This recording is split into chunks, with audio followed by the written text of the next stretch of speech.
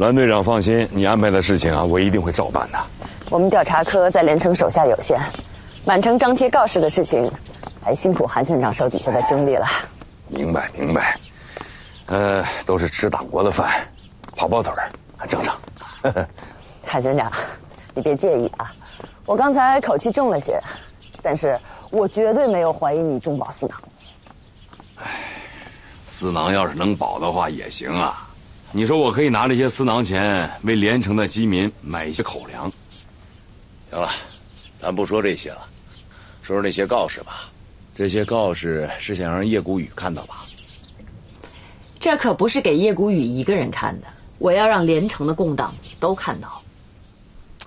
栾队长，整个连城已经都贴满了。放心吧，赌场的事儿，韩县长也是为了地方财政。我来连城就是为了抓共党。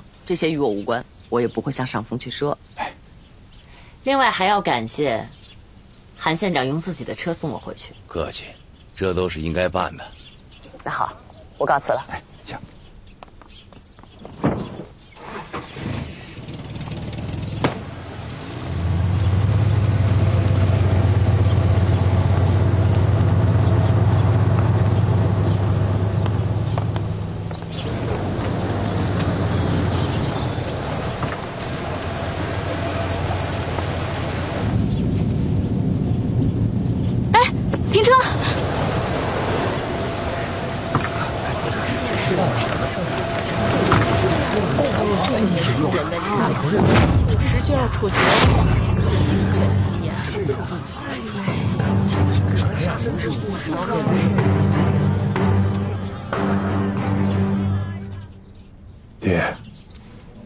栾君雅杀沈涛，刚好审了我们的事儿。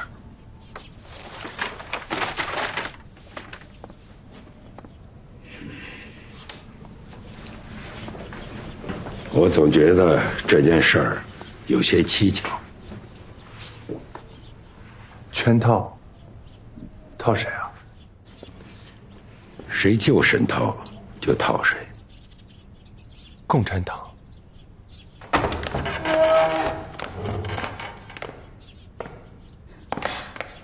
沈涛不是逃走了吗？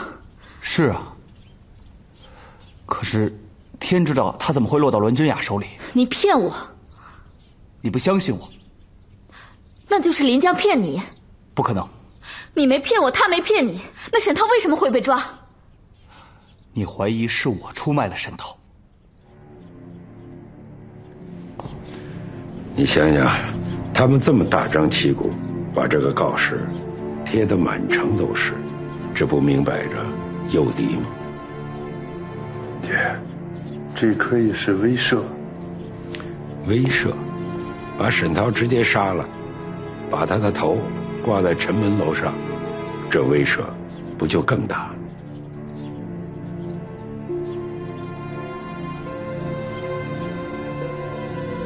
林海，你已经知道了我的身份，但我不能眼睁睁的看着他去送死。沈涛，我是一定要救的。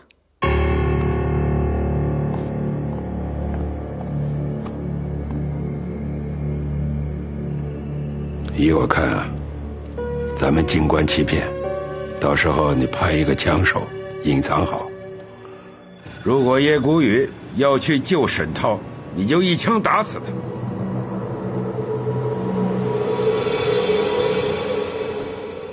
这就是一个圈套，你看不出来吗？我知道，但是我还是要救。为什么？因为我们是同志。同志是什么？有共同志向的人。就是你们嘴里经常说的信仰。对。行，那你就跟我说说你们的信仰到底是什么？我们的信仰就是要过上好日子。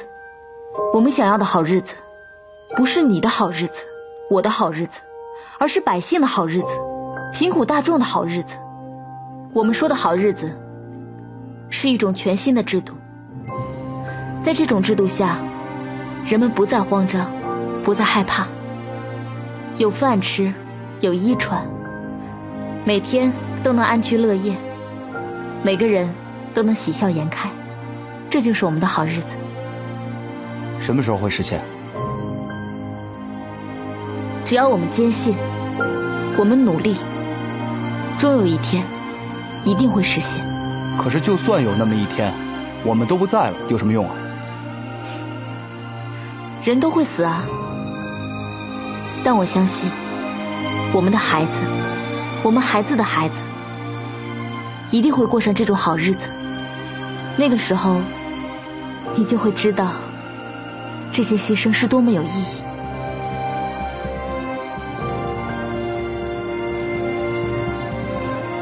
你知道飞蛾为什么扑火吗？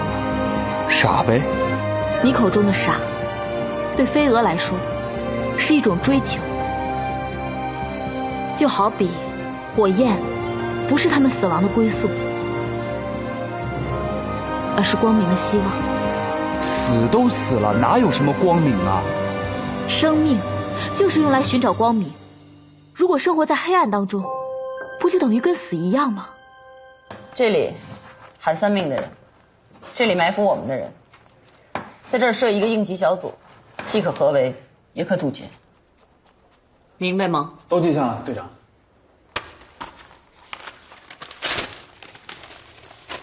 记这儿。是。知道为什么让韩三命的人担任外围警戒吗？队长信不过他。对。难道你怀疑他是共产党？他比共产党还可怕。为什么？共产党有自己的信仰，有信仰就有据可循。好比我们放出沈涛当诱饵，他们就会上钩。共产党有共产党的原则。韩三命没有信仰吗？他的信仰就是他的野心。三民主义呢？那就是他升官发财的工具啊。所以说，这样的人才可怕呀。那今天是咱们的同盟者，明天就变成拆台者。到了后天，只要利益足够，他就是我们的敌人。所以，队长让他负责外围，核心抓捕计划还是我们来执行。对，以防计划泄露出去。他还敢通共？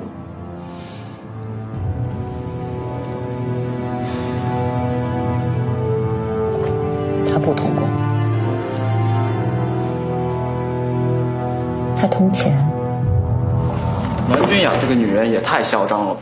嗨，谁让人家是中央组织部调查科的呢？总觉得比别人高一点。那他不会把赌场的事儿捅给上峰吧？不可能，他现在的重心啊是要铲除共党地下的交通线，然后立功风风火火的回厦门。就他那个俄狄浦斯计划呀？等会儿，什么情况啊？我上次买半斤猪头肉，你也给我写上啊？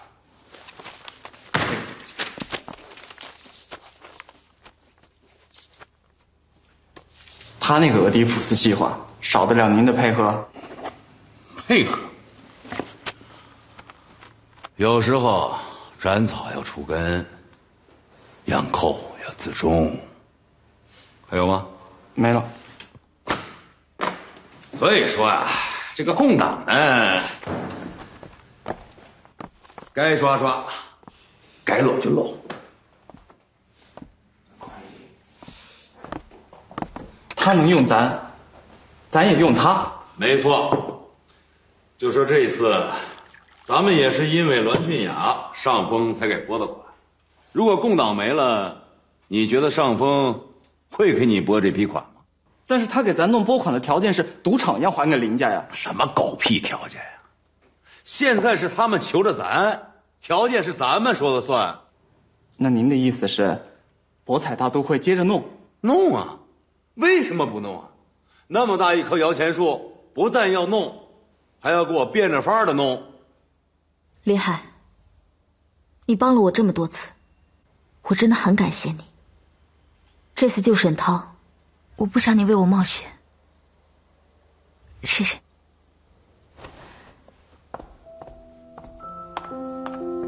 哎我告诉你啊有些险是没法冒的。我承认国民党的武装设备确实胜于我们红军。可是两军斗争拼的不光是武器还有民心。这就是为什么国民党多次大规模的对苏区进行进攻而红军却越发顽强屹立不倒。韩三命假公济私，剥夺了你们家的产业。在连城，林家是多么有威望的家族，但是在贪腐的强权面前，连一点保障都没有，更何况普通的百姓呢？我们共产党想要的好日子，是一种全新的制度，在这种制度下，人民可以当家做主，不管你林家、刘家、李家、张家，大家都不用怕，不用怕自己的东西被抢走。不用怕，未面临的危险会降临。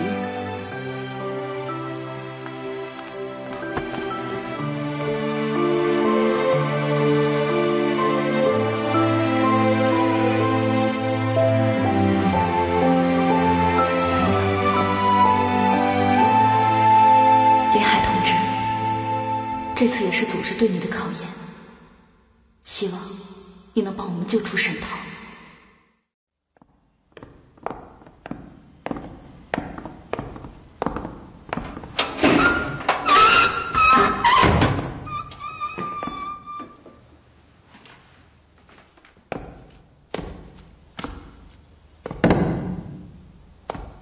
送行的饺子，我亲手捏的，我很少亲自下厨。刚出锅还热着呢，来啊，吃点儿，不饿。虽然我们国共信仰不同，不过你还是我尊敬的对手。明天就是你的好日子了，还有半个月就过年了，全当我陪你过个年。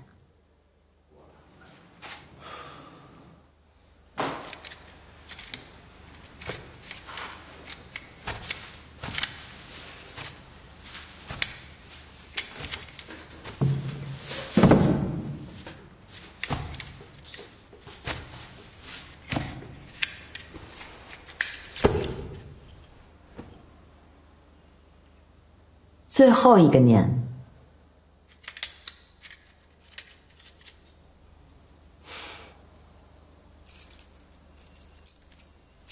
来，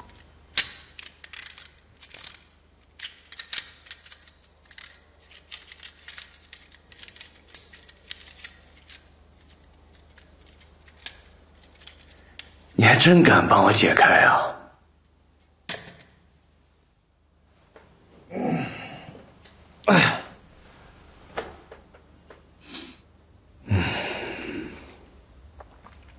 我明白你什么意思啊，不过我的答案还是一样的。别着急啊，你应该知道，这是你最后一次机会，最后一次。知道，太知道不过了。不过现在我更知道的是，像你这样。我更加坚信我的信仰是对的。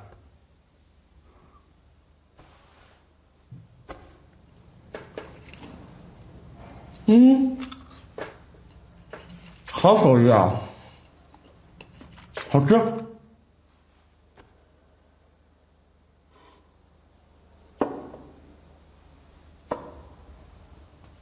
二少奶奶，二少奶奶，怎么了？刚刚有人给你送了个东西。谁送的？没说。门房刚刚说来了一个人，给了他这个东西。这是什么？他还说什么了？他还说，要是二少奶奶吃着顺口，可以去张记裁缝铺找他，他带二少奶奶一块去买。行，我知道了，你先去忙吧。嗯。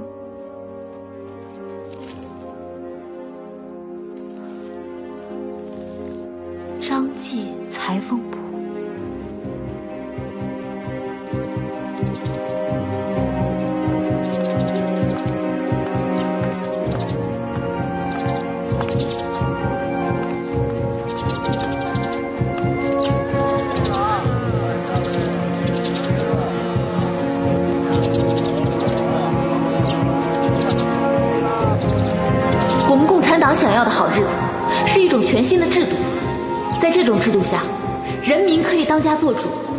不光你林家、李家、张家、刘家，大家都不用怕，不用怕自己的东西被抢走，不用怕未面临的危险会降临。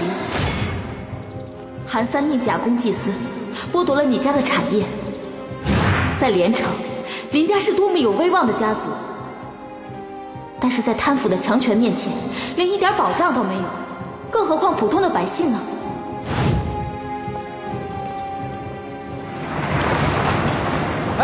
少爷，二少爷，是你啊？是我。我在这大车行找了一个活干，那挺好的。以后老千的事不要再干了啊。是，三少爷挺厚道的，给我找这个活虽然累点，但我心里踏实。对我弟这人吧，看着有点凶，但其实啊挺仗义。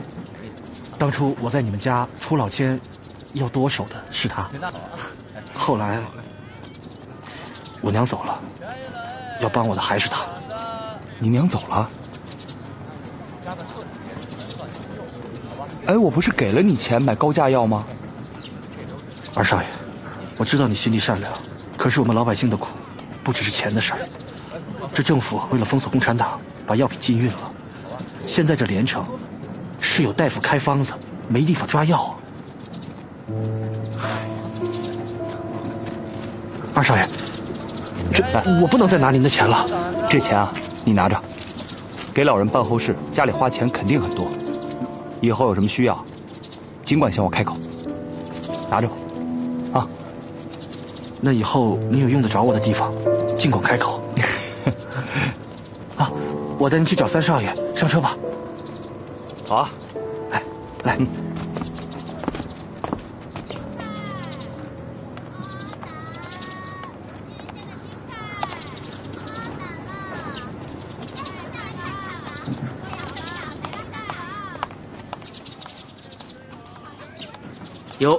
二少奶奶，有日子没见了，您是来做衣服？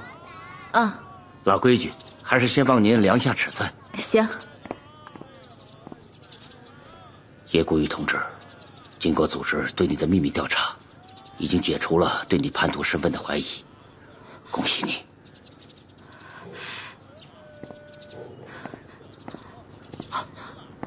沈涛同志要被处决，我们要想办法救他。这次组织主动和你联系，就是为了这件事。太好了！今后的工作安排，稍后会有党支部的同志给你进行交接。嫂子，甜妹，你做衣服呢？啊。那你是想做个棉袄，还是做个坎肩儿，或者说做一身旗袍？呃，那个，我还没有想好。对了，甜妹，刚才我出来的时候，你哥好像在找你，还挺着急的。我哥？对啊。他没有啥事找我。我也不知道，反正是挺着急的。那让他着急去吧。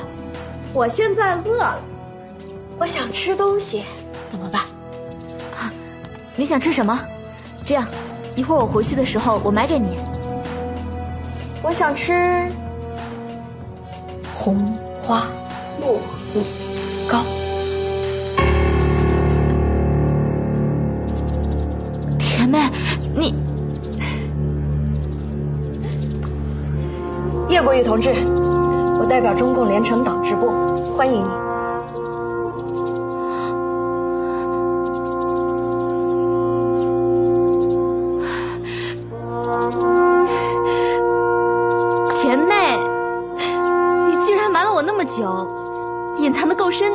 讨厌！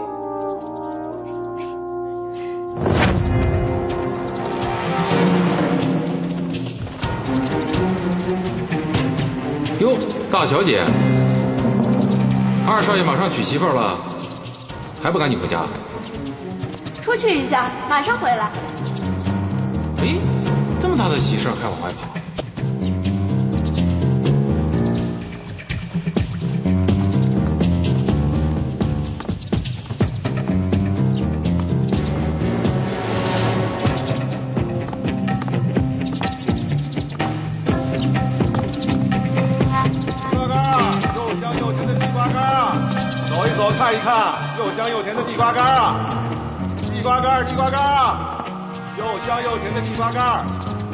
老板，要不要买点地瓜干？又香又甜。通知党支部书记叶孤宇已叛变。结果消息就到我这儿了。你就这么轻易认定我是叛徒了？如果我认定了沈涛说的，那你现在早死了。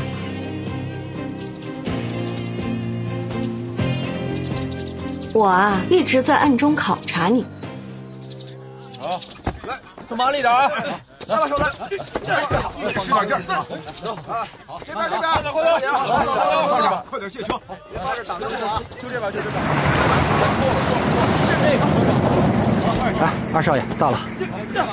哎，好，往前，哎，清楚了，清楚了，好好好，摆好了啊，好好好，车拉走了，小心点，可以啊，来行，就是徐的。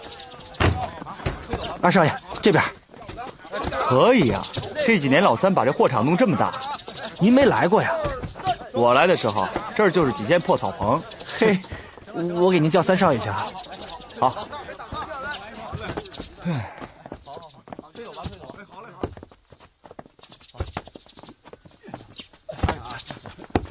这边还有。三少爷。二少爷来了。二哥。哎。你怎么来了？好，闲逛碰见他，正好过来看看你。闲逛，那就没事了，帮我干活。哎呦，这脏活累活我才没兴趣呢。你就只对嫂子感兴趣是吧？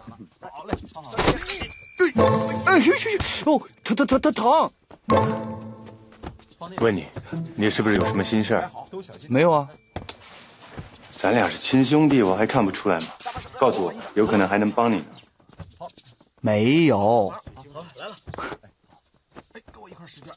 哎，您看这个，来放这啊。嗯。好，来，那您看我这么快，快，动作快点，来了，好好好。哎，你赶紧跟着我，快点火来，六十台啊！那我进去，轻点。那你什么时候确定我不是叛徒的？那天。我二哥抓了沈涛，你向二哥求情，你还阻止三哥去杀他。那这么说，沈涛被压在棉纺仓库，是你救了他？嗯。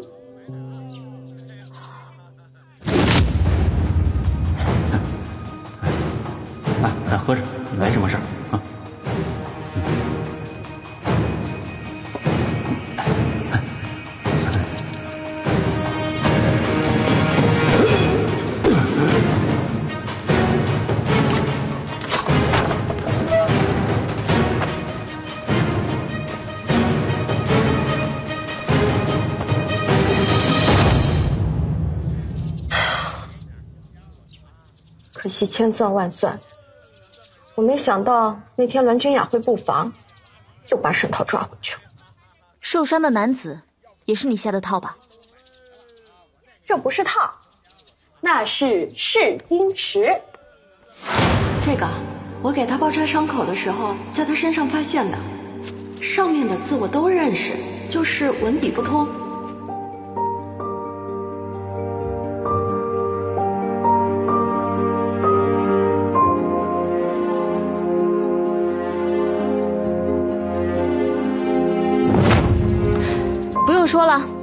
连城地下党委的成员名单肯定也是假的喽。那当然了，我怎么能用真的试探你这个叛徒？脑袋里面一天到晚全是坏点子。哎，我不瞒你说，那天送他出城的时候，我这袖口里一直藏着一把刀，我就担心这万一路上你有什么异变。我对叛徒从来都是手下不留情的。那请问，对于我这个假叛徒，你现在是杀还是不杀呀？当然是不杀了，这么好的嫂子，我怎么舍得呢？甜妹，你要气死我呀！我之前一直在想办法联系组织，你为什么现在才告诉我？我说了，你不信。说了，什么时候说的？总有一天你会发现，你和我是一样的。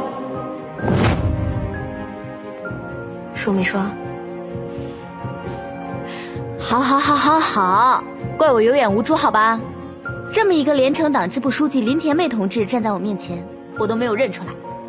小叶同志，以后呢，好好跟着林首长干。好，林首长。但是现在呢，作为你的同志，我要批评你。既然你都已经确定我不是叛徒了，为什么不在家接头，还偏偏跑到这儿来？难道你不知道吗？多出来一次，就多一次的危险。叶国玉同志，之所以要到裁缝店里面接头，是因为参加今天会议的还有别的同志。别的同志？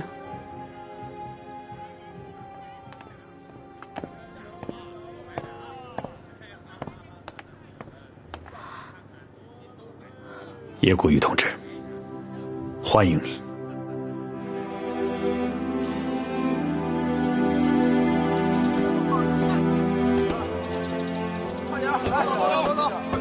按照小雨说的，共产党是为了百姓。我呢，要不要为了小雨呢？那个车上，快点！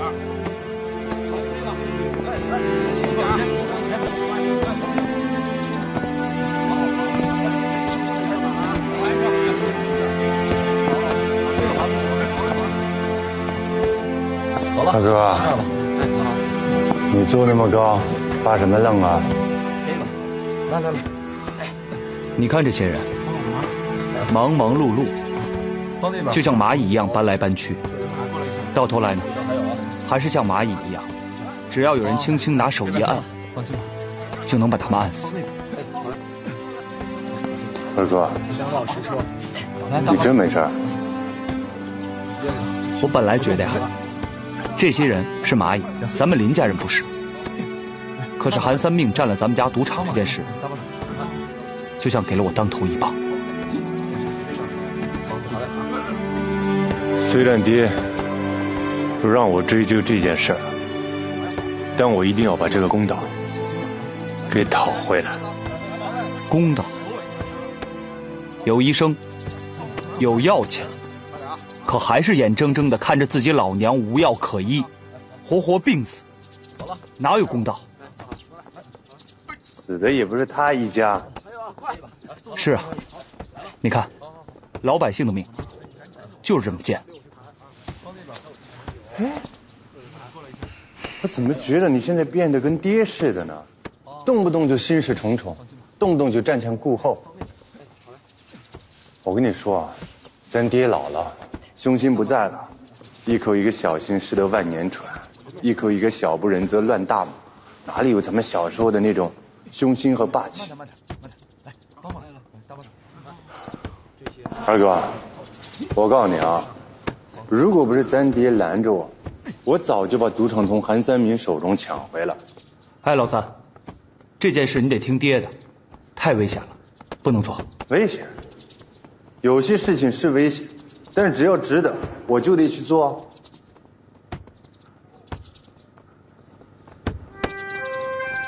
只要值得，就去做。哎，你嘀咕什么呢？栾君雅故意在全城张贴告示，他就是算准了，我们不可能眼睁睁的看着沈涛去死。这是一个阴谋，双方的意图都很明显，就看。谁先能抓住谁的漏洞？我们怎么办？劫法场，又是有埋伏的法场，就凭咱们几个人根本不够啊！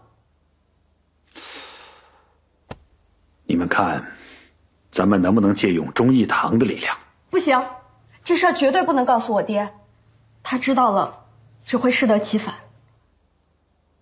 我觉得也是。林家这个时候能保持中立，就已经很不错了。我们是共产党员，我们有自己的组织纪律。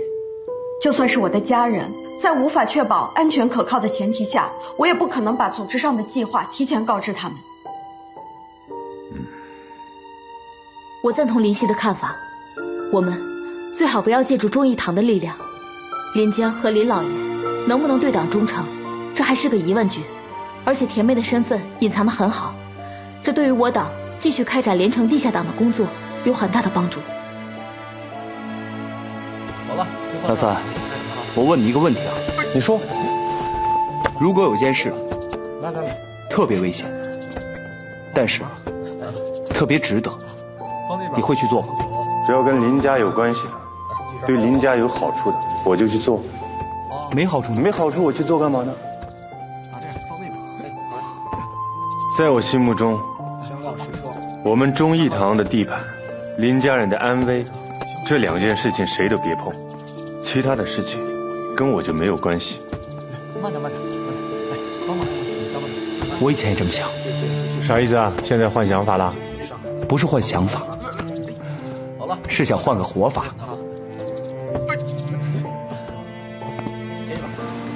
换个活法，啥意思啊？我也不知道，就是脑子里突然这么想，也不知道对不对。哦，这边清了。那你就继续想吧。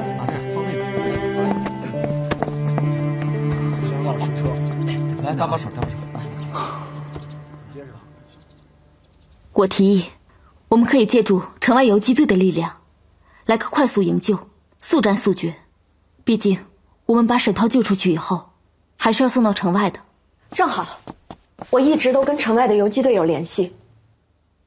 好，基于咱们人手不足，无法强攻大牢，明闯刑场，所以咱们按刚才的提议，在路上动手。咱们兵分三路，田妹负责联系城外的游击队，我继续负责做临海的动员工作，通过他。试着调配一些忠义堂的力量，其他同志仔细查明敌人的具体押运路线。好，那咱们就这么定了。好。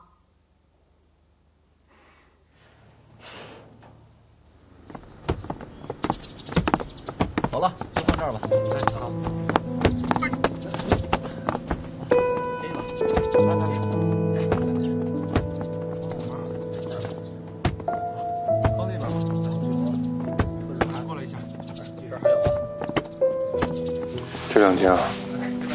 下我二哥。金少少爷，说什么呢？我是担心他，担心他有什么难处，也不好意思向我开口。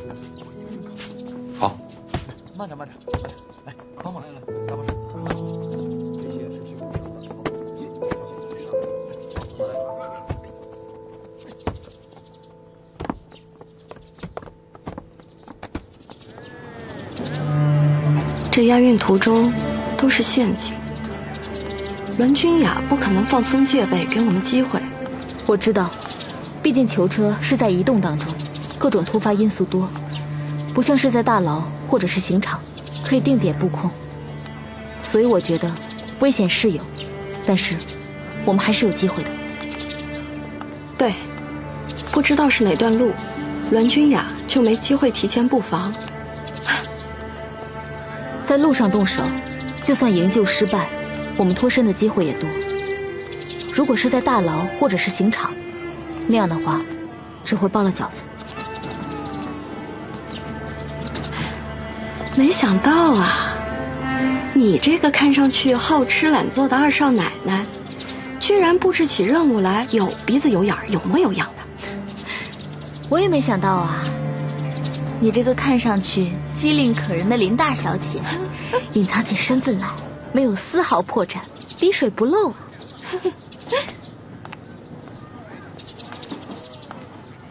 对了，同志们传来线报，说县政府的人在传，栾君雅留在连城，不仅仅是为了抓你，他好像在布置一个秘密计划。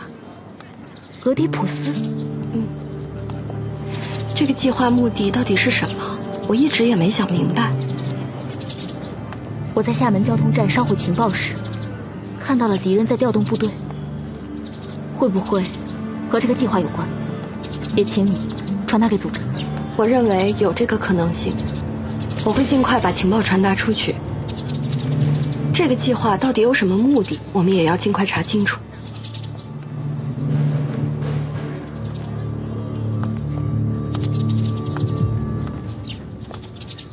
嫂子，嗯，你说二哥会不会帮咱们？我已经跟他说过了，但他没同意。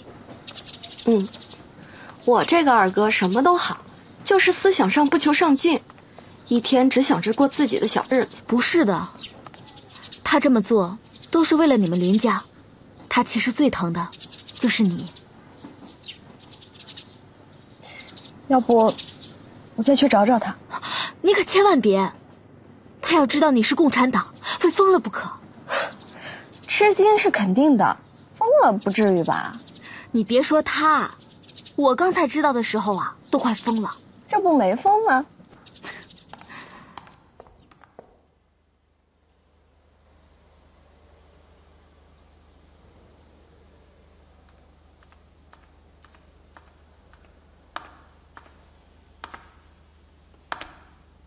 你去哪儿了？啊，我出去走了走。走的太着急了，最喜欢吃的东西都没有吃。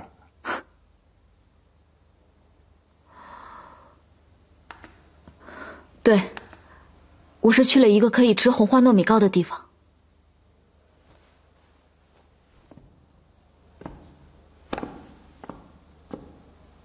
我说过，你不要做有风险的事情。安安全全的在家待着。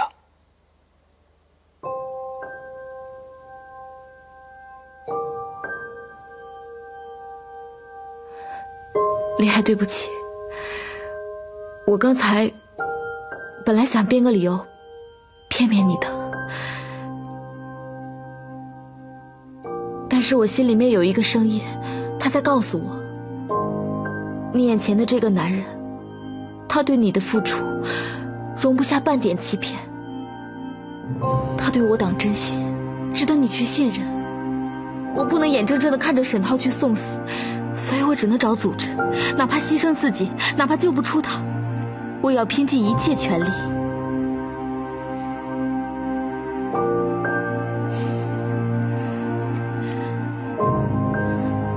铁了心要救。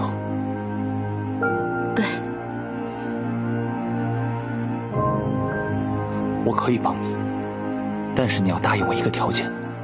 什么条件？不许鲁莽，一切让我来。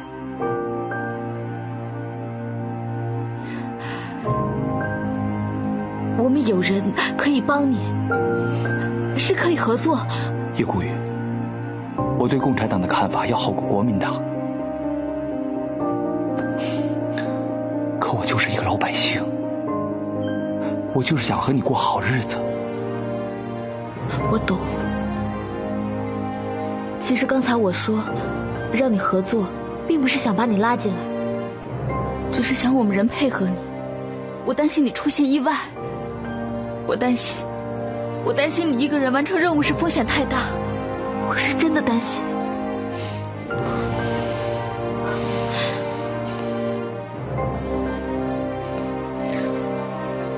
好啊，有你这话就够了。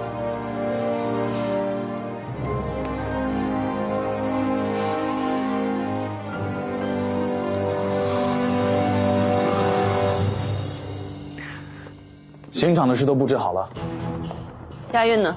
也按照您的吩咐布置三条路线，两甲一针，防止共党路上伏击。散布出去，让共党知道。已经散布两条假的线路，防止共党余孽袭击。错。我们要把真的路线散给共党，将他们一网打尽。心中的故事，多想对你说，给你的爱是种承诺，你还是一样。